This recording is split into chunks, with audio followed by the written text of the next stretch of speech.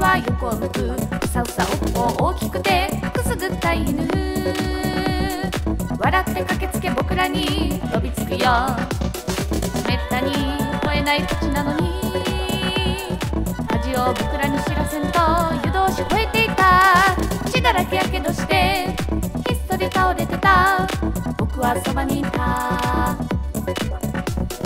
4コマ文庫今回のお話は？島竹をカジと墓地